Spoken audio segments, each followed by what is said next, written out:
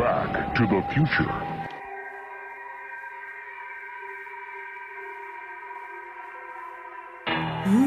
Un exemple, Marikou c'est qui Marikou c'est qui Marikou c'est qui Macomé on a été victime On a été victime On a été victime I don't wanna run it king I don't wanna run it king I don't wanna run victimes Paix à toutes les victimes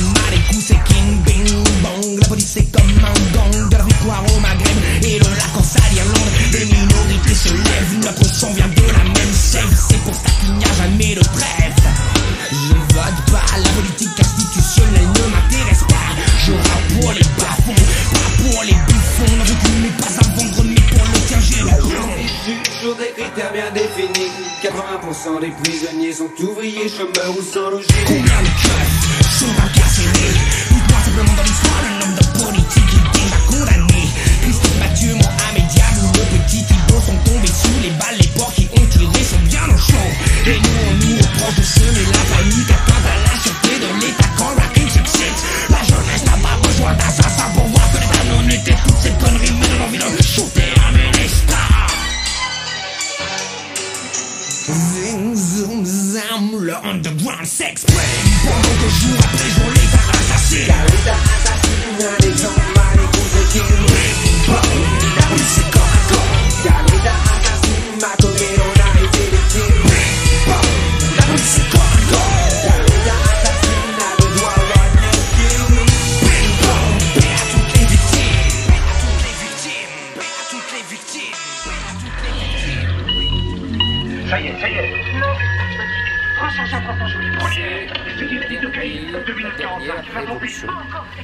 savez, il y a toute l'histoire du 19e siècle est ponctuée de mouvements révolutionnaires qui veulent imiter 1789. La commune, qu'est-ce que c'est? C'est le dernier, la dernière révolution. Vous savez, il y a toute l'histoire du 19e siècle est ponctuée de mouvements révolutionnaires qui veulent imiter 1789. Et d'ailleurs, euh, l'histoire ne cesse de se répéter. C'est-à-dire qu'on a toujours le, le- le même, euh, le même ordre. On a d'abord une révolution libérale contre un, un monarque ou contre un empereur. Après, on a une révolution plus dure, plus, plus, plus, plus, euh, plus violente, euh, plus, plus sanguinaire. Et puis après, on a un coup d'État ou en tout cas une reprise en main d'un pouvoir euh, réactionnaire entre guillemets. En gros, pour vous situer, on a 89, après on a 93 et après on a Bonaparte. Et on recommence à chaque fois. On a 1830 et puis après on a Louis-Philippe et après on a 48 et 48 c'est la même chose, c'est le même schéma. Vous voyez, et on, ça finit par un coup d'État de Louis-Napoléon Bonaparte. Et vous voyez, on a passé le siècle à refaire l'histoire de la Révolution. Et 1871, c'est la commune, c'est de nouveau le peuple de Paris qui veut refaire la révolution, qui en plus un mouvement patriotique, parce qu'il faut bien comprendre au départ que les seuls qui ne veulent pas de la paix, qui ne veulent pas de la soumission à l'Allemagne, c'est ce petit peuple parisien qui reste patriote et qui veut refaire 1792, le- le- les soldats de l'an 2, Valmy, etc. Sauf que cette fois-ci, ça marche pas. Euh, et donc qui est furieux contre les bourgeois, contre les Versaillais qui veulent se soumettre à Bismarck. Au départ, ça commence comme ça. Et puis, ça devient une révolution beaucoup plus dure, avec des, crimes, avec des meurtres, etc., exactement comme la terreur. Et, là, simplement, il n'y a pas Louis XVI en face, le, gentil Louis XVI. Euh, là, euh, il y a Thiers euh, qui va massacrer toute cette révolution et tous ces révolutionnaires.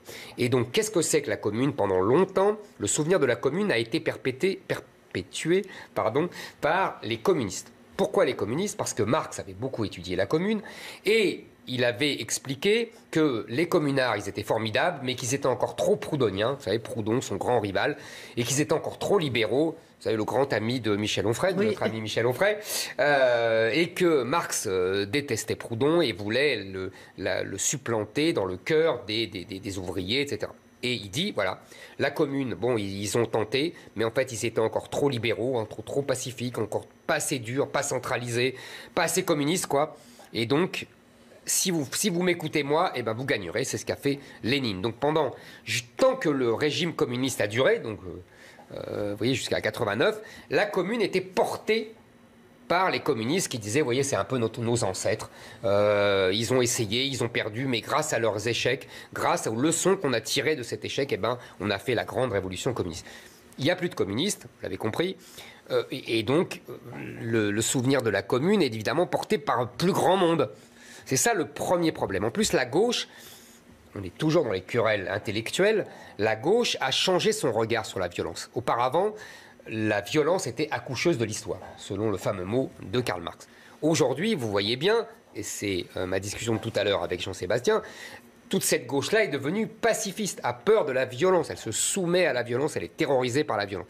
Et donc elle n'aime pas les communards qui, eux, n'hésitaient pas à, massacrer, à, à à- pardon, à fusiller, à, faire brûler les Tuileries et l'hôtel de ville. Enfin, vous voyez, ils y allaient. Euh, bon, on dirait qu'en face, euh, c'est- pas rien non plus parce que les Versaillais ont massacré entre 10 000 et 20 000 euh, communards. Je crois que ça a été. C'est la dernière grande guerre civile aussi française. Et là aussi, les républicains sont mal à l'aise parce que qui massacre? Ce n'est pas un roi, ce n'est pas un, empereur, ce n'est pas un dictateur, non, c'est la République. C'est la République qui massacre euh, les communards. Et c'est même parce qu'elle massacre les communards, ça c'est une leçon que nos républicains d'aujourd'hui détestent entendre, c'est même parce qu'elle massacre les communards qu'elle va s'enraciner dans le pays. Parce qu'elle va s'enraciner dans le pays, parce que les masses paysannes en ont marre de ce peuple révolutionnaire de Paris qui lui impose tous les 20 ans ses révolutions. Et donc, en fait, c'est horrible à dire aujourd'hui, mais les masses paysannes trouvaient que les rois étaient trop gentils. Voyez, trop économes du sang français. Et que là, on a un bon républicain tiers, alors il y va, euh, il y va, et là, au moins, l'ordre est rétabli. Et donc la République, c'est le grand paradoxe, et c'est ça qui gêne autant la gauche, c'est que la République s'installe parce qu'elle massacre les communards et qu'elle éradique, vous voyez, le côté euh, révolutionnaire de Paris, qui avait déjà été euh, bien, euh, comment dire, aseptisé par Haussmann. Vous savez, Haussmann, au départ, pourquoi il fait le Paris, pourquoi il met des grandes routes, il met des, des- des- pourquoi il casse tous les immeubles rapprochés et tout, c'est pour pouvoir faire passer les canons en cas de révolution. C'est ça, les- nos grandes avenues, c'est au départ ça. Il y a d'autres raisons après, hein, c'est pour lutter contre les épidémies, pour faire beau, etc. Mais la première raison, c'est on va pouvoir passer les canons et ils vont pas nous emmerder avec leur, avec leur barricade. Euh, c'est vraiment ça.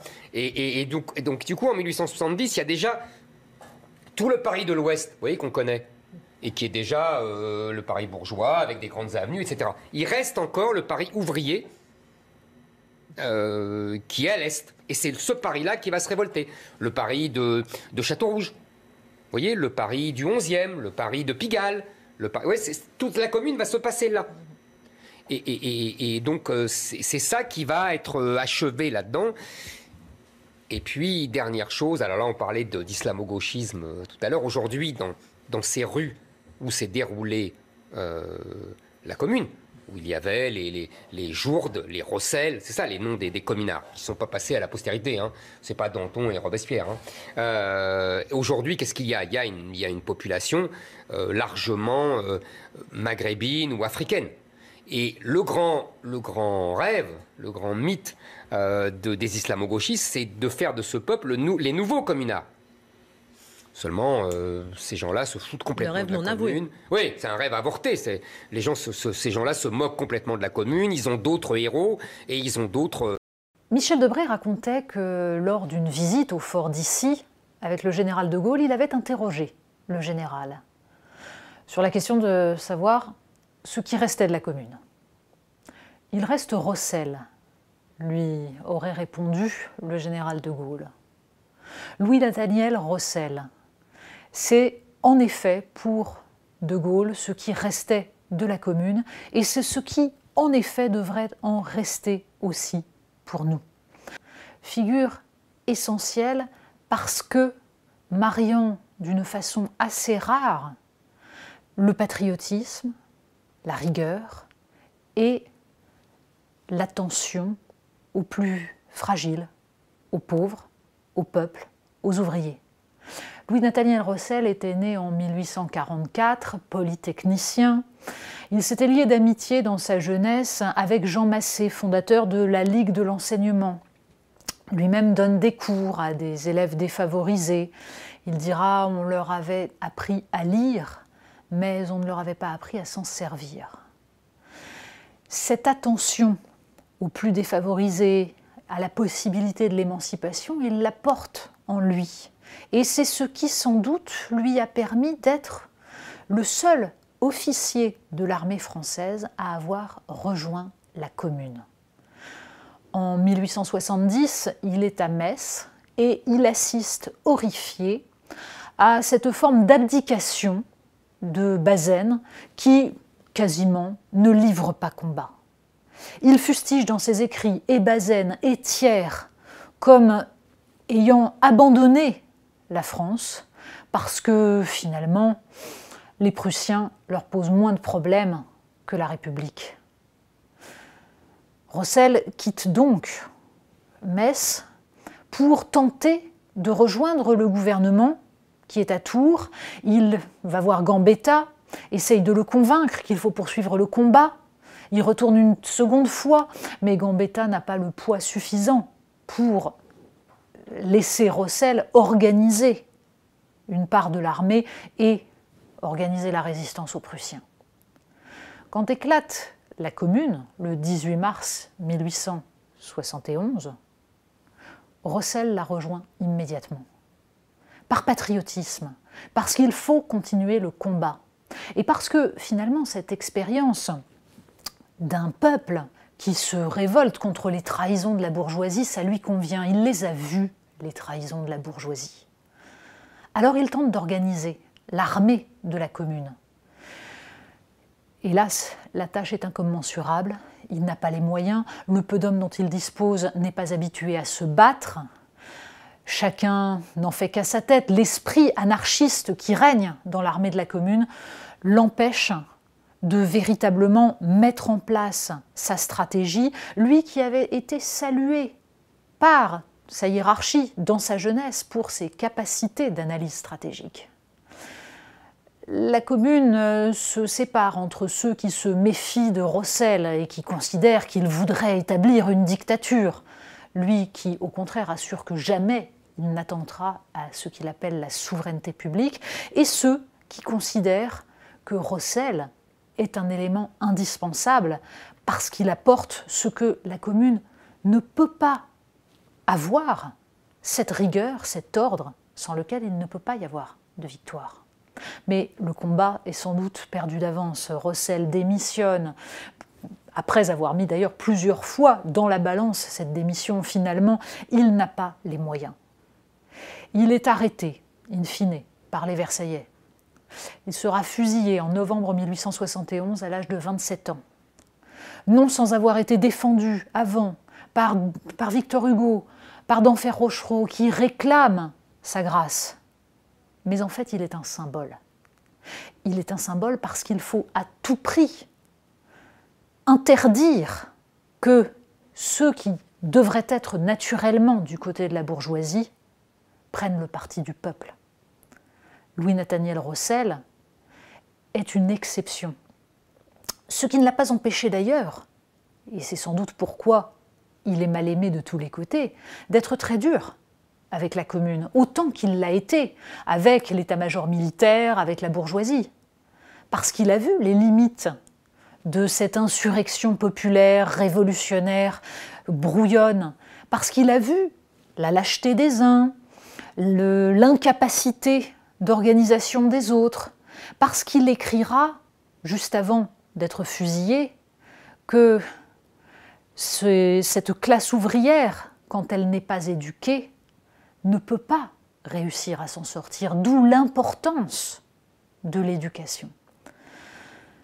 cette euh, volonté de mettre son énergie au service de la souveraineté publique comme au service de la patrie, c'est cela qu'a légué Louis Nathaniel Rossel.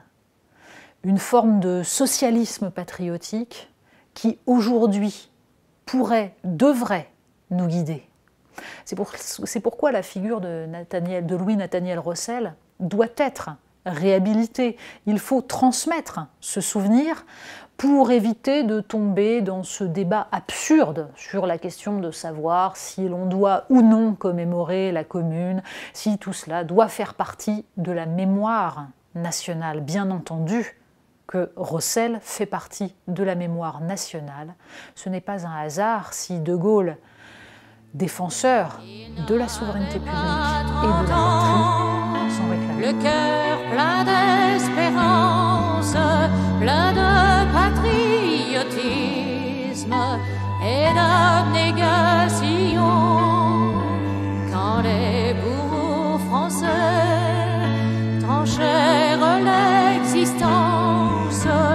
ce grand citoyen, de ce fier champion, c'est pour la commune égorgée qu'il est mort.